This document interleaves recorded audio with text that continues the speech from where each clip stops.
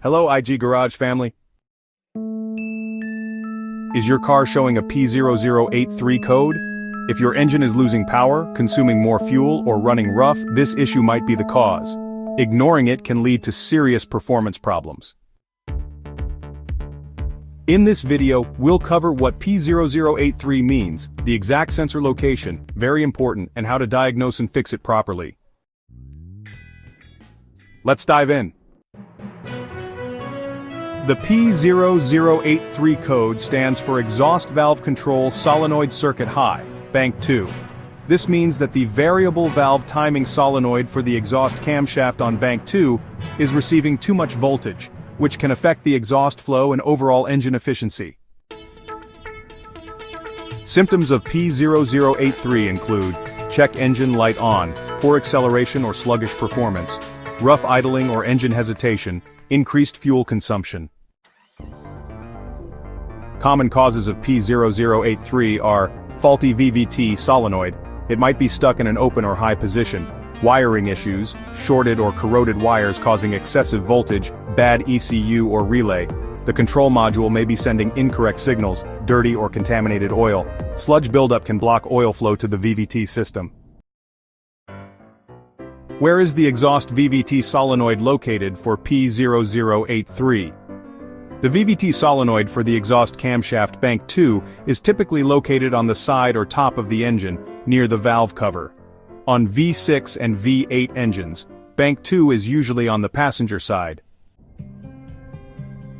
The solenoid is connected to the ECU via an electrical connector. Look for the wiring harness near the exhaust camshaft and check for any loose or damaged wires. In certain vehicles the solenoid may be positioned under the timing cover or near the front of the engine. If your car has dual VVT solenoids, make sure you're checking the one for bank 2 exhaust. And here's a tip. Always double-check your vehicle's service manual for exact sensor placement. First inspect the engine oil. Make sure the oil is clean and at the correct level. You see, dirty oil can clog the VVT solenoid leading to failure. Now inspect the engine oil. Ensure the oil is clean and at the correct level. Dirty oil? Well it can clog the VVT solenoid, leading to failure. Next, check the wiring and connectors. Look for broken, corroded or shorted wires leading to the VVT solenoid. You should repair or replace any damaged wiring. Alright, next up let's test the VVT solenoid with a multimeter. First you'll need to disconnect the solenoid and measure the resistance. If the reading is too high, well the solenoid may be defective. Now if the solenoid is faulty, it's time to replace it. Carefully remove the old solenoid and install the new one. Make sure the wiring is properly connected to ensure everything works smoothly. Alright, so next up, clear the code and take it for a test drive. Use an OBD2 scanner to reset the P0083 code, then drive the car and check if the issue is resolved. And that's everything you need to know about P0083. Exhaust valve control solenoid circuit high bank 2. If your car is struggling with acceleration, consuming more fuel, or running rough, make sure to check the VVT solenoid and wiring near the exhaust camshaft on bank 2.